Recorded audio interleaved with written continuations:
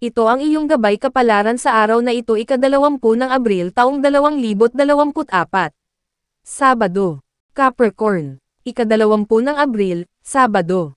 Maaaring maramdaman ng Capricorn ang pangangailangan na sa wakas ay manandigan para sa kanyang pananaw ngayon, ngunit ang pagiging masyadong malupit ay maaaring makapinsala para sa kanya at sa komunidad na nakapaligid sa kanya. Sa kabilang banda, kung gusto mong maging mas matagumpay sa isyo na iyong pinagtatrabahuhan, subukang maging mas diplomatiko, dahil ito ay maaaring maging kapakipakinabang hindi lamang para sa iyo, kundi pati na rin para sa mga nakatira, o nagtatrabaho. Subukang tingnan ang buong sitwasyon bilang isang komplikado, at kapag sinasabi mo kung ano ang iyong kailangan o gusto, laging subukang kumbansihin ang iba sa halip na humiling lamang ng pagbabago. Kung palihim ka, siguradong makikita mo ang mga bagay na maaaring magudyok sa iyo at sa mga taong kailangan mong harapin. Maswerteng numero 6, 8 at 16. Maswerteng kulay, beige. Aquarius. Ikadalawampu ng Abril, Sabado. Ngayon, ang Aquarius ay makakahanap ng inspirasyon sa maliliit na bagay sa buhay, tulad ng magagandang tanawin sa kalikasan, kagandahan ng mga bulaklak, palakaibigang kilos ng mga taong nakapaligid sa kanya, masarap na pagkain, masarap na tsaa o kape, kahit isang magandang ideya, matatagpuan sa isang magazine o sa isang website. Ang pagtitipon ng lahat ng maliliit na piraso ng inspirasyon ay maaaring mapabuti ang iyong araw ng husto, at hindi lamang kapag nagsimula ka talagang gamitin ang mga ito sa katotohanan, ngunit dahil din sa pagganyak na nakukuha mo mula sa magagandang ideya at damdamin. Panatilihing bukas ang iyong mga mata at puso, at subukang makakita ng maraming positibong bagay sa iyong buhay hanggat maaari. Maswerteng numero 21, 29 at 31. Maswerteng kulay, asol. Pisces, ikadalawampu ng Abril, Sabado. Ang mga Pisces ay maaaring makaramdam ng kaunting mapanglo ngayon, ngunit nasa kanya ang pagpapasya kung ito ay isang bagay na tiisin o hindi. Sa totoo lang, maaaring maging kapakipakinabang ang pagtigil saglit para isipin ang iyong buhay, o magbigay ng ilang minuto para matuklasan mo ang iyong mga nararamdaman, ngunit ang gayong dominanteng mode ay maaari ding magkaroon ng mga downside nito. Ang kailangan mong isaalang-alang ay kung ito ay kapakipakinabang para sa iyo, o talagang nakakapinsala. Gaya ng nasabi kanina, ang iyong sariling personal na sitwasyon ang susi sa iyong mga desisyon, at malamang na makikita mo kung anong mga pagpipilian ang kailangan mong gawin. Maswerteng numero 10, 26 at 43. Maswerteng kulay, itim. Aris ikadalawampu ng Abril, Sabado. Mapapalakas ng Aris ang kanyang profesional na buhay ngayon sa pamamagitan ng pagbibigay ng karagdagang pangangalaga sa trabahong kailangang gawin, at sa pamamagitan din ng pagbibigay ng ilang dagdag na oras at pagsisikap upang mapanatili ang isang malusog na social network. Sa kabilang banda, ang paggugol ng masyadong maraming oras sa mga profesional na tungkulin ay maaaring makapinsala sa iyong buhay pamilya o mga pagkakaibigan kung hindi ka sapat na maingat, kaya siguraduhing manatiling nakatutok ka rin sa iyong mga pinaka-personal na relasyon. Sa pamamagitan ng paghahanap ng balanseng gumagana, makakagawa ka rin ng batayan para sa isang modelo na maaaring gumana sa mas mahabang panahon. Maswerteng numero 5, 28 at 34. Maswerteng kulay, violet, Taurus. Ikadalawampu ng Abril, Sabado. Ang mga Taurus ay maaaring makaramdam ng kaunting mapanglo ngayon, ngunit nasa kanya ang pagpapasya kung ito ay isang bagay na tiisin o hindi. Sa totoo lang, maaaring maging kapakipakinabang ang pagtigil saglit para isipin ang iyong buhay, o magbigay ng ilang minuto para matuklasan mo ang iyong mga nararamdaman, ngunit ang gayong dominanteng mode ay maaari ding magkaroon ng mga downside nito. Ang kailangan mong isaalang-alang ay kung ito ay kapakipakinabang para sa iyo, o talagang nakakapinsala. Gaya ng nasabi kanina, ang iyong sariling personal na sitwasyon ang susi sa iyong mga desisyon, at malamang na makikita mo kung anong mga pagpipilian ang kailangan mong gawin. Maswerteng numero, 3, 11 at 42. Maswerteng kulay, peach. Gemini. Ikadalawampu ng Abril, Sabado. Ang Gemini ay makakahanap ng bagong kaibigan ngayon, o talagang makatuklas muli ng isang lumang pagkakaibigan. Alinman ang totoo para sa iyo ngayon, maaari kang makaramdam ng pagpapayaman at pagliliwanag sa pamamagitan ng mga bagong enerhiya na nakukuha mo mula sa iyong pagkakaibigan, at maaari mo ring madama ang pangangailangan na ibalik ang positibong ito sa buong araw. Bukod dito, makakahanap ka rin ng isang bagay na ikinatuwa mong gawin, ngunit sa paglaon ay binitawan mo ito tulad ng isang libangan o sport na nagustuhan mo, at pakiramdam na kailangan mo itong bigyan ng isa pang pagkakataon. Maaari itong maging isang magandang ideya, at maaari kang maging talagang masigasig tungkol sa iyong lumang bagong aktibidad sa paglilibang.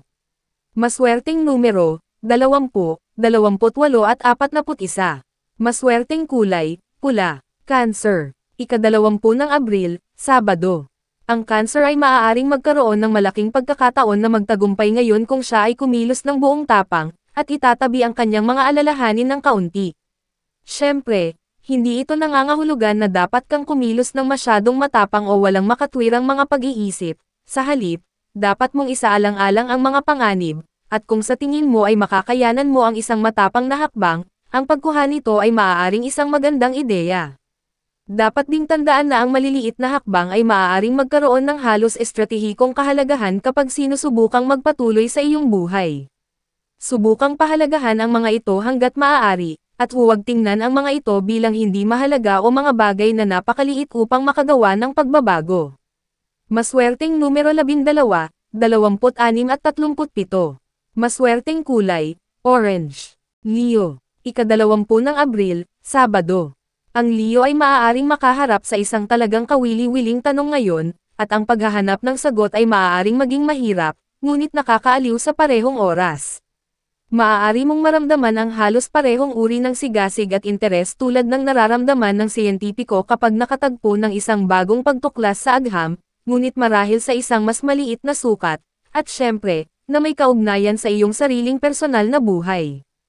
Malamang na kailangan mong gamitin ang iyong mga emosyon, damdamin at instinct ng higit pa sa iyong makatuwirang pag-iisip upang malutas ang maliit na palaisipan na ito, at malamang na masisiyahan ka sa proseso. Maswerteng numero 16, 25 at 33. Maswerteng kulay, puti, Virgo. Ikadalawampu ng Abril, Sabado. Maaaring medyo kinakabahan ang Virgo ngayon, ngunit hindi ito isang bagay na dapat manatili sa ganito.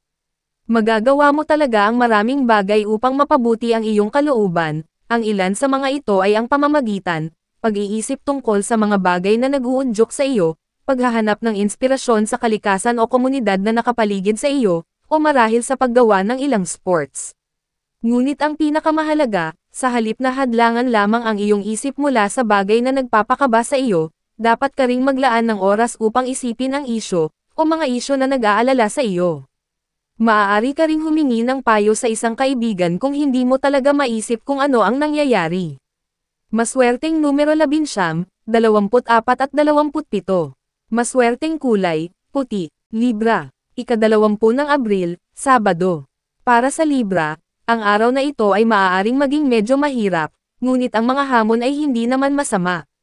May mga pagkakataon na dapat mong ihinto ang pagsunod sa mga umiiral ng panuntunan, at subukang maghanap ng iba pang mga paraan upang mapabuti ang iyong sitwasyon.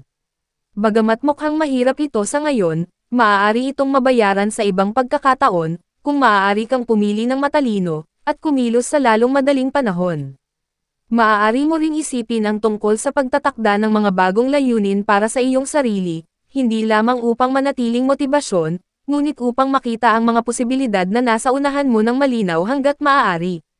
Ito ay kadalasang kapakipakinabang para sa hinaharap, ngunit ang pagpaplano ng maaga ay ang susi sa pangmatagalang tagumpay ng maraming beses. Maswerteng numero 14, 18 at 20. Maswerteng kulay, dilaw, Scorpio. Ikadalawampu ng Abril, Sabado. Maaaring makita ng Scorpio ang mga pang-araw-araw na gawain sa buhay na medyo nakakapagod ngayon, ngunit ang labis na pag-aalala tungkol sa isyong ito ay magpapahirap lamang sa mga bagay. Sa kabilang banda, kung gusto mong mapabuti ang iyong sitwasyon, maaari mong subukang ayusin ang mga bagay anumang oras, at gumawa ng isang order upang ang mga nakakainis na maliliit na bagay ay hindi magmukhang magulo at napakalaki. Ang paghingi ng tulong ay maaari ding maging isang magandang ideya, ngunit subukang iwasan ang pagiging masyadong demanding, lalo na kung hindi ka sigurado kung ang iba ay nakikitungo sa parehong mga paghihirap na tulad mo o hindi. Tandaan lamang na ang pagkakaroon ng trabaho ay maaaring mapabuti ang iyong personalidad, at na ikaw ay lubos na magagawang mauna at maipagmamalaki ang iyong sarili sa pagtatapos ng araw. Maswerteng numero siyam, labing isa at dalawamput dalawa. Maswerteng kulay, purple. Sagittarius. Ikadalawampu ng Abril, Sabado. Ang pag-aalaga sa iyong personal na espasyo ay maaaring medyo mahirap ngayon. Hindi lamang dahil ang mga tao sa paligid mo ay maaaring gustong gumugol ng napakaraming oras malapit sa iyo, ngunit dahil din sa maaari mong masama na sabihin sa kanila na kailangan mo ng kaunting pahinga at kalmado. At ito ay maaaring hindi kahit na walang dahilan. Ang kailangan mong isaalang-alang ay kung dapat ka bang gumawa ng kaunting sakripisyo para sa isang humihingi ng iyong tulong, o ang aktwal na sitwasyon ay nagpapahintulot sa iyo na magtago mula sa mundo ng ilang sandali, at huminga lamang ng malalim. Makikita mo kung alin ang mas mahusay na solusyon. Maswerteng numero 10, 27 at 44. Maswerteng kulay, pink.